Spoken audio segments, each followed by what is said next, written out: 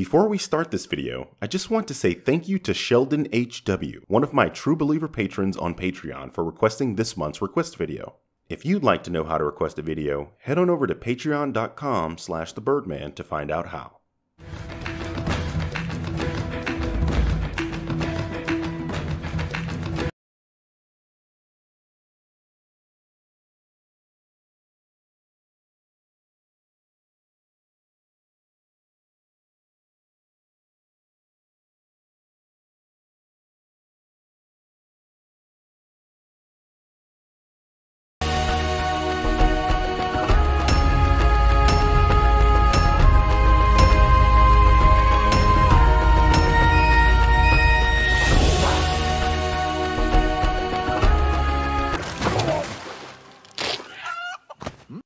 Disney logo alone now takes up 33 seconds of screen time, followed by a retro Disney logo that itself takes 16 seconds. So this is another 50 seconds of logo sin.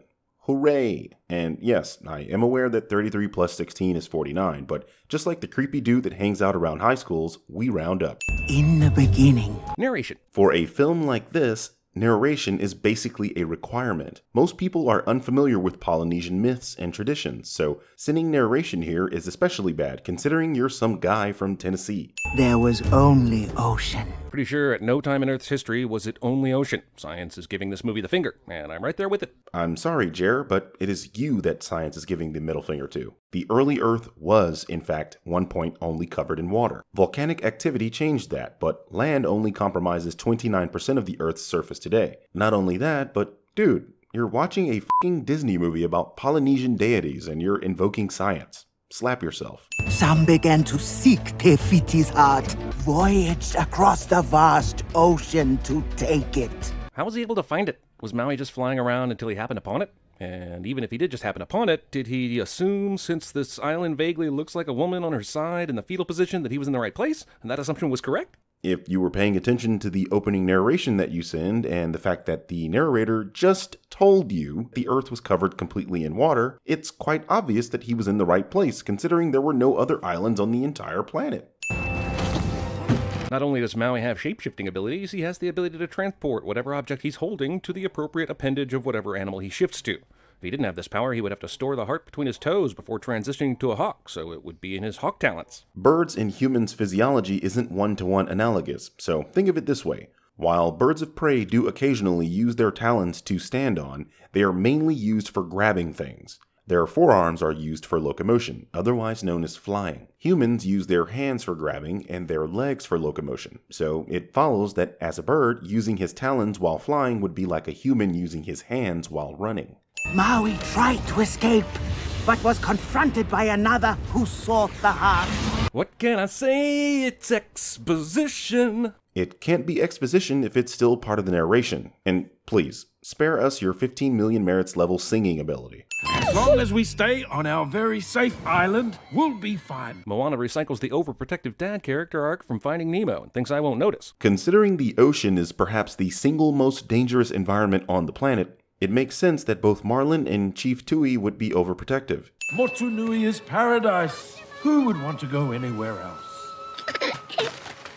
While the king of this island debates isolationism with his mother, his diaper wearing toddler is about to drown. Points out things that are happening on the screen. Thinks I won't cliche. Look, sea turtles are given one shot. They either make it to the water or they don't. I'm not sure that overly assisting this one baby is actually helping anyone, since he is weak and will likely be killed at sea early on. Weak? Okay, this is ridiculous. The turtle was being harassed by like three birds. Baby turtle was just in the wrong place at the wrong time. I mean, try putting a human baby in an area full of wolves and see if that motherfucker becomes Mowgli. If I were making this movie, this is where a dickhead barracuda would show up and eat that fing idiot turtle baby who couldn't even reach the sea without help from a human toddler. Actively seeking to make movies worse cliche. As the ocean gives her a new hairstyle, I'm left to wonder how wrong everything I'm seeing would be if it were another human doing it instead of the ocean. So, you're giving the movie a sin not for something that happens, but for something that could happen? Oh, there you are, Moana. What are you doing? You scared me. She scared you? You're the one who let her wander out into the ocean and stay there long enough to drown, you big asshole. Okay, earlier you sinned Tui for being overprotective, and now you're sinning him for not being protective enough. Jeremy is every girlfriend when you ask them what they want to eat. Don't walk away. Man, Disney sure does love to age up characters through song, don't they? By show of hands, who thinks that was a sin? Since no one in the comment section is raising their hands, You are the future of our people, Moana. As much convention as this movie bucks, it's still another Disney movie about a princess who doesn't want what her destiny holds. yet another nonsense. You're essentially saying, hey, this movie is for kids and they're trying to teach them a valuable lesson. Ding. Baby the Rock Chippendale dancer kid here is super inappropriate and suggests this island's males begin thinking about sex and procreation at age 8. That's absolute shit and you know it. Nothing about this child dancing is inappropriate nor suggestive in any way. Have you ever tried to crack a coconut? I don't care how rotten those things are. They are hard as shit. There's no way this woman could just pull this thing apart. But that's literally the point of the scene that the coconuts are so dead inside that they can just pull them apart. Also, do you not know how powerful Polynesian people are? I wouldn't be surprised if they could just pull open a fresh coconut.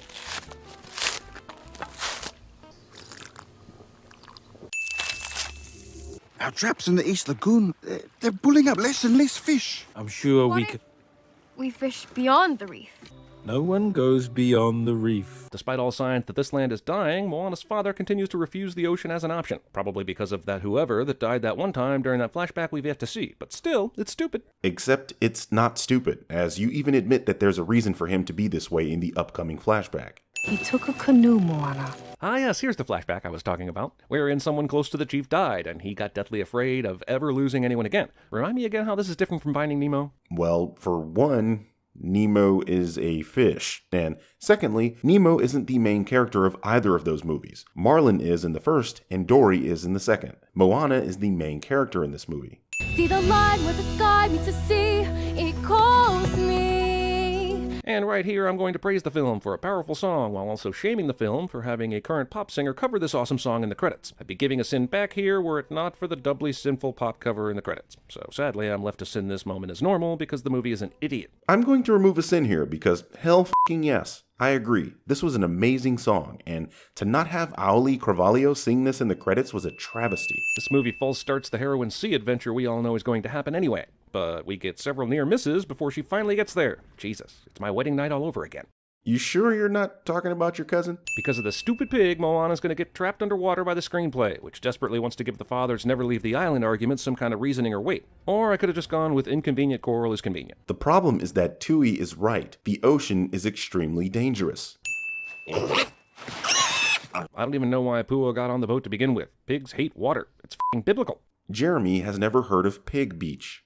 When I die, I'm going to come back as one of these. Literally. Not literally. She comes back as a watery representation of a ray. But even if she came back as a literal ray, that still wouldn't be a goddamn sin. Bang the drum. Grandma did say bang the drum, but despite the two sticks on top, this looks nothing like a drum. Grandma should have been more specific and said bang the upside down all wood horsey saddle looking thing. You are aware that this film explores oceanic culture, right? This is a slit drum, but I guess when Tala said drum, you were expecting this, am I right? Also, at the risk of sounding cynical and anti ghost music, how the f does playing these old ass moisture log drums wake up the fire ghosts and give her literal visions of her ancestors? Disney magic. It's a fucking cartoon.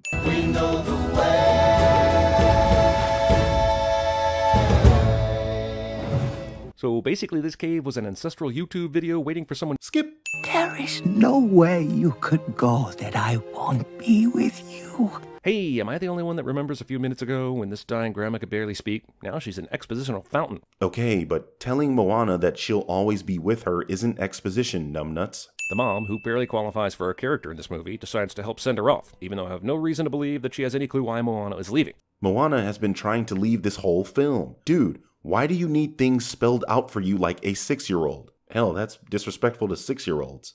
Movie doubles down on non existent fishhook constellation. In a Disney film with magical islands, shapeshifting deities, and sentient water, Jeremy is upset that the sky has a fishhook constellation. But guess what? This constellation does actually exist. It's the tail of the constellation Scorpius, which is the fishhook that belongs to Maui, a real figure in Polynesian mythology and is who The Rock's character in this film is based on. Next up, Maui. If her only indication of where to go are the stars shaped like a hook in the sky, then how is she supposed to navigate during the day? Keep in mind, Moana has never sailed a boat in her life. So, you mentioned that she's following the stars, but question how she's supposed to navigate during the day. Hmm, you do know that there's a much closer star that's even better for navigation, especially during the day, right? Right? Maybe don't go sailing until you actually have sailing skills? Just a thought. How does one gain sailing skills without sailing? I know what you meant to say was don't go sailing alone, but because this video series is a satirical take on your video series, which is based on purposefully nitpicking, fuck you.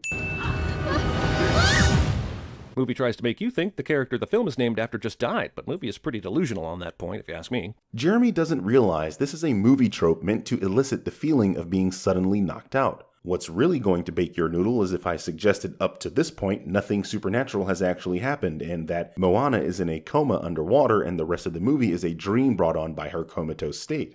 But hey, that's just a theory, a bad theory. And Dear movie, showing us the chicken first kills all the suspense that Moana might not have lived through the. Oh, f it. Moana is untouchable. Got it. Thanks for the chicken jokes. you just suggested that there is no way anyone would believe Moana is dead, so what the f?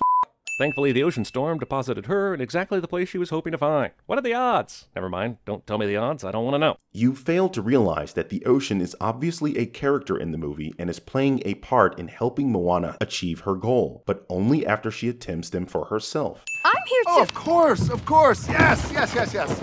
Now he always has time for his fans. Maui has apparently been marooned here for like a thousand years and shit, but still thinks the first person he sees in all that time is a fan seeking an autograph. Either that or he's had tons of visitors here seeking autographs and just never stole their boats to leave the island. Do you need future Birdman to come on and tell you it's a joke again? Because I will go to the store again and he will sneak on this microphone so fast. We can't play this song, but The Rock is a way better movie musical singer than Russell Crowe. But that doesn't mean he's good.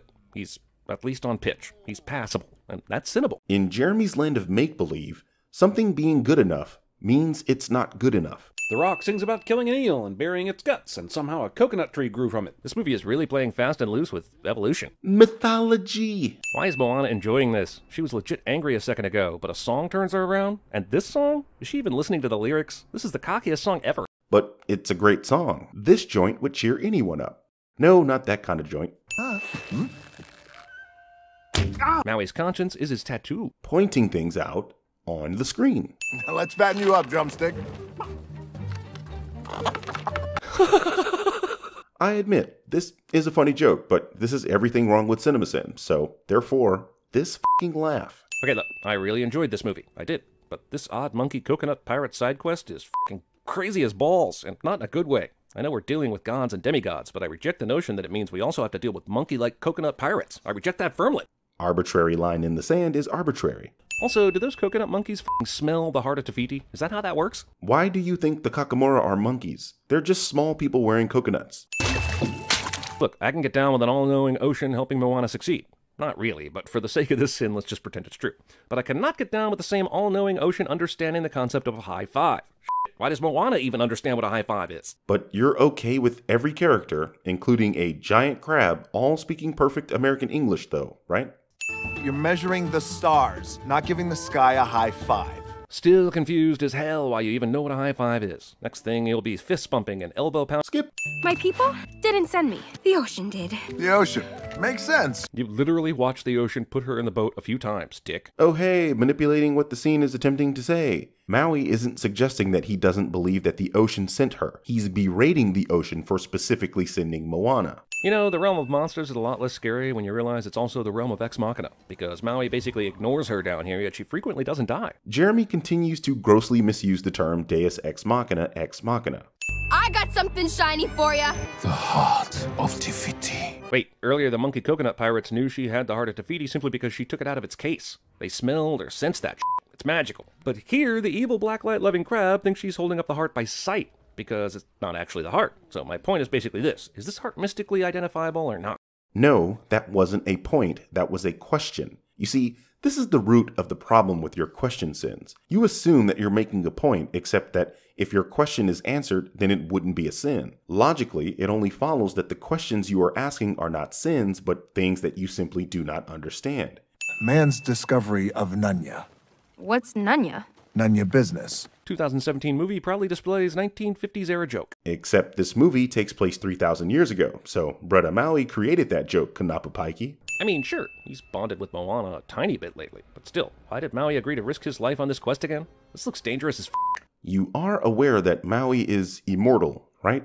Maui only flies away here so he can Han Solo back into the climax later. Sorry, but it's the truth. Jeremy makes a pop culture reference. What is that? A giant ghost looking electric blue manta ray? Why, my grandma said she'd return as a manta ray. Is it possible that I don't dare hope that. I mean. All this bullshit. In preparation for this stunt, Tom Cruise actually swam down this distance to retrieve a mock Heart of Te Fiti, but was shocked to learn he'd been recast as a teenage female and lost the part to an authentic island actress. At this point, any normal reviewer would realize that these videos are called Everything Wrong with X Movie, and that stuff like this has nothing to do with the movie, and Jeremy just wanted to try out his cornball jokes.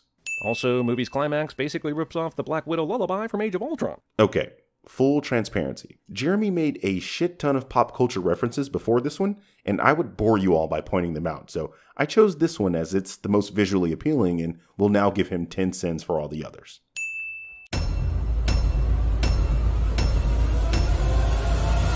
See the light as it shines on